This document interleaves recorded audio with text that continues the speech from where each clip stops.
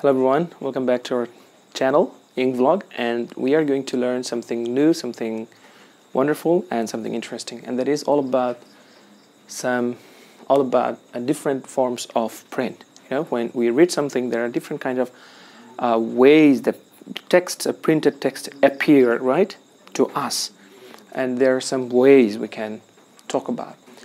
Number one, underlined text. When some texts uh, have underline underneath. So underline should be under right? It is called underlined text. That means this text has been underlined or this text has been given a line under it. Okay so underline next one is italic text italic. So a kind of tilted text that is called italic. Number three uppercase. That means every single letter is in capital. Okay so upper uppercase. Number four very brave, very bold. Well, bold, bold text means you can see that every single letter is given kind of extra health.